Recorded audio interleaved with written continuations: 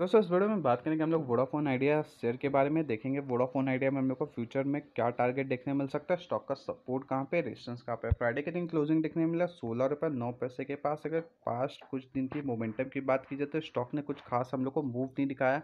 Around eighteen rupees के पास से stock continuously नीचे की तरफ़ एक फॉल दिखा रहा है, जो कि एक लो लो टाइप के पैटर्न में भी गिरते हुए दिख रहा है, जो कि थोड़ा सा नेगेटिव साइन है। तो जब तक यहाँ से स्टॉक फिफ्टीन रुपीज़ के ऊपर ट्रेड कर रहा अभी भी स्टॉक में चांसेस है ऊपर की तरफ़ मूव मिलने का। तो स्टॉप लॉस रहेगा आपके फिफ्टीन रुपीज़ के पास इधर आप लॉन्ग टर्म के हिसाब से स्टॉक में इन्वेस्ट करके रखें या फिर शॉर्ट टर्म के हिसाब से सबका स्टॉप लॉस होगा फिफ्टीन रुपीज़ के पास। क्योंकि फिफ्टीन रुपीज़ का लेवल एक मेजर स्टॉक का सपोर्ट का भी काम कर सकता है। क्योंकि इससे पहले देखेंगे तो अराउंड स्टॉक इसी रेंज में ट्रेड करते हुए दिख रहा था, जो कि स्टॉक ने फिफ्टीन रुपीज़ का एक ब्रेकआउट दिखा के फिर रिटेस्ट किया नीचे की तरफ़, फिर ऊपर की तरफ़ एक अच्छा हम लोग को मूव देखने मिला जो कि अठारह रुपये तक था।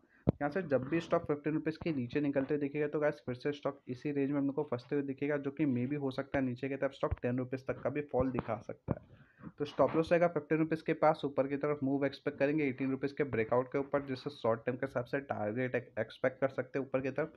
जो कि अराउंड ट्वेंटी से लेकर करीब ट्वेंटी फाइव रुपीज़ तक का और लॉन्ग टर्म के हिसाब से स्टॉक हम लोग को थर्टी रुपीज़ से ज़्यादा तक का भी टारगेट ऊपर की तरफ़ स्टॉक में देखने मिल सकता है। लेकिन फिफ्टी रुपीज़ के नीचे निकलते स्टॉक आइधर साइडवेज होते हुए दिखेगा या फिर नीचे की तरफ़ टेन रुपीज़ का भी लेवल नीचे की तरफ़ ब्रेकआउट करते हुए देख सकता है।